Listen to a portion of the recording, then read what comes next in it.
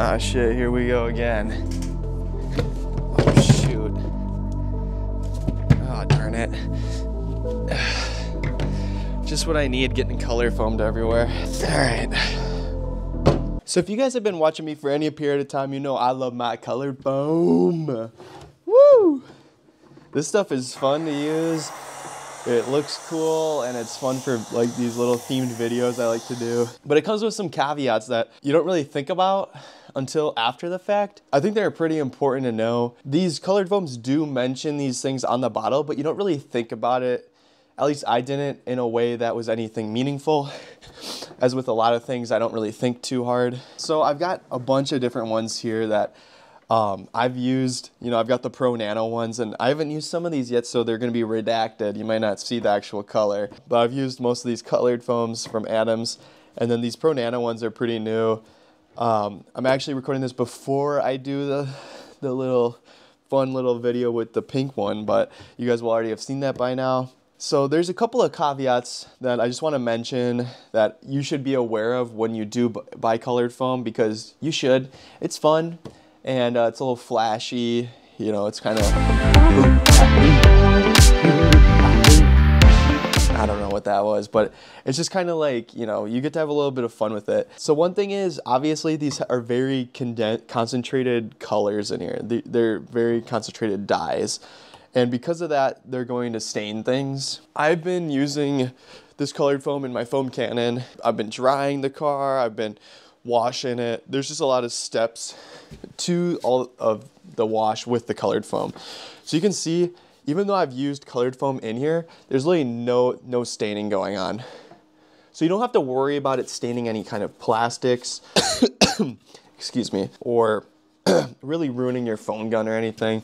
Obviously, when they make colored foam, they aren't going to make it ruin the parts that it's supposed to run out of, right? That's just stupid.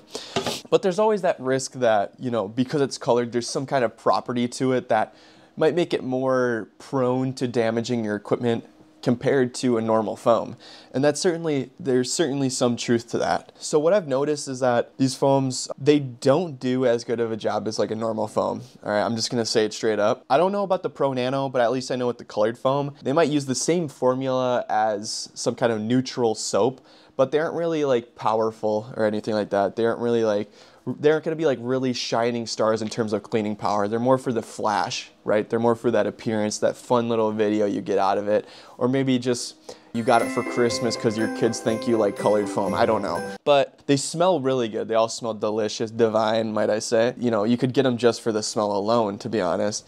Probably just dump, like, if you wanted to change your carpets to orange and have them smell delicious, just dump a load of this on it like you would have orange carpet and good smell like instantly. It's like Kool-Aid. As you've seen with my past videos, they do look fun and they are they are fun and they smell good. Uh, if I wasn't torturing myself so much, maybe I could enjoy the smell a little more. Color foam like lingers around for a very long time.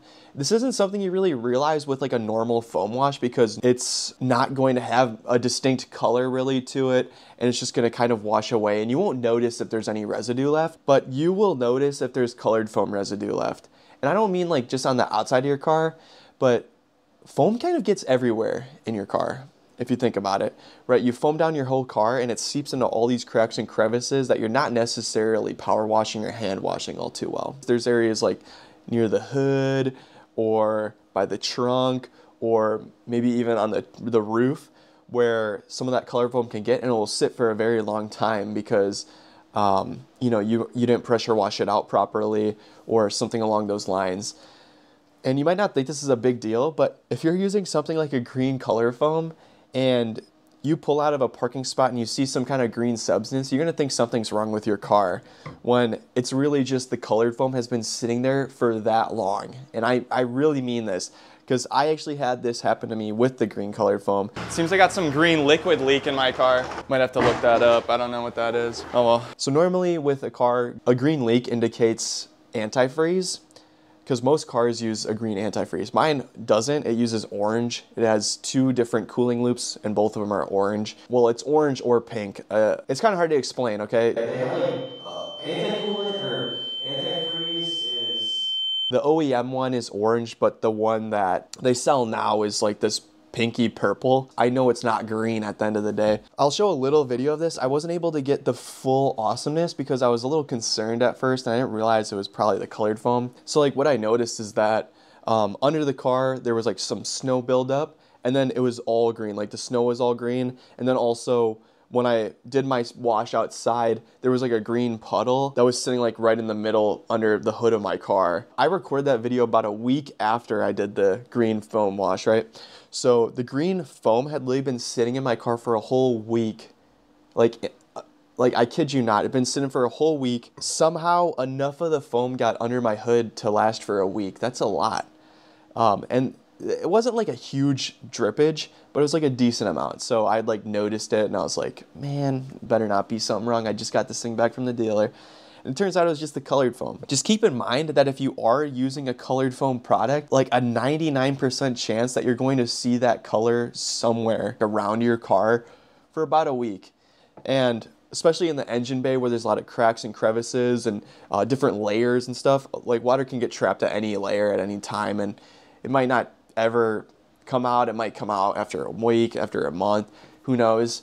But the point still stands that you do need to be aware that the color foam could be there. If you ever doing a color foam on it, like a, like a customer or something, just be aware of that and keep that in the back of your mind because there also could be a case where someone does have an antifreeze leak and then you use the green foam and then that just makes it look even worse. Also, another thing is obviously since this does stain a lot, any type of drying towel or microfiber you use after you do the colored wash is probably going to get stained. Like there's a 99% chance. You know, I have this like drying towel. I, the car looks like there's no remaining wash on there. And somehow my towel just got stained up the wazoo. So it looks horrible. Like honestly, it looks horrible. I don't know. It's not a big deal. Like I could still use it. It works fine, but it just looks bad. So if you're like going on a job, you might just look kind of unprofessional. Wow. Okay. Here I was thinking I had like blind spots on my eyes and couldn't see anything. So I've used this towel quite a bit since I first like stained it up a notch. But you can see, wow, maybe I just have like blind spots on my eye. I don't know. Can you guys see anything? I don't know, but you can kind of tell it looks grayish here. I guess some of the dye might have come out since I first stained it up. Wow, this is like looking like a blind spot in my eye. It's like tripping me out hardcore. So you guys can see this, right? Because I can't see anything right now. This was initially more orange. It looks kind of grayish to me now. It might just be colorblind though. But I think since I've like used it and still washed it and taken care of it, it's kind of come out a little bit, but it still looks a little goofy. You know, keep in mind that if you get any of this on your clothing or any like anything like that, like I ruined a pair of pants because of the, the orange foam. Uh, Wait, I actually didn't. I don't know how I ruined those. Well, that wouldn't have made any sense because, you know, I wasn't wearing blue pants when I was doing the orange video. I mean red. Stupid. But uh, yeah, just keep in mind that it can stain. You know, it can also linger around. So if you're noticing some kind of abnormal color coming out of your car, it's probably just that. You don't have to worry about any of the dye like ruining the actual body of your car or anything like that. Um, like none of these are going to stain any plastic or paint, which is a good thing. So they're still safe on your car, which is perfect. That's exactly what you want out of a car wash. Like I would hope they would have at least tested that and they did. So no complaint there. Just think about it. I'm not the best at thinking, so it's good that, you know, I'm talking about this to you guys and showing you these things because if you're anything like me, you don't know how to think. And I know this has been a little bit more of a sit down kind of still video, but uh, we'll have some fun showing some of these different foams in action. Still got a couple, uh, a few more colors I want to demonstrate and maybe we can do like an RGB, like, oh my gosh, I'm so excited to do like a rave. I'll get a bunch of glow sticks and we can just do a car wash glow stick rave. It'll be epic. But until then, watch out for the colored foam and pick some of these up. They're kind of fun. They're hella expensive. Oh my God. Okay, so you get four good colored washes out of this. It's one liter. You know how much this cost me?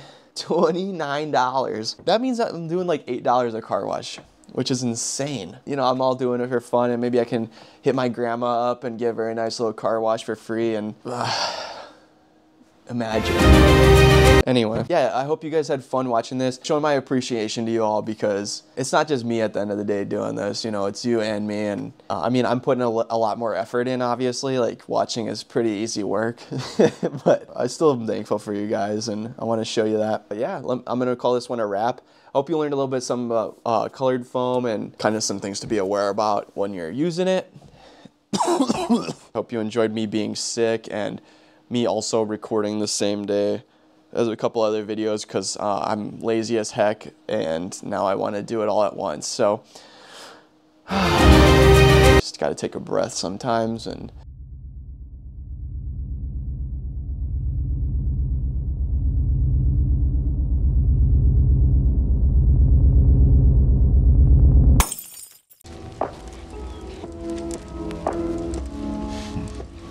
love you guys.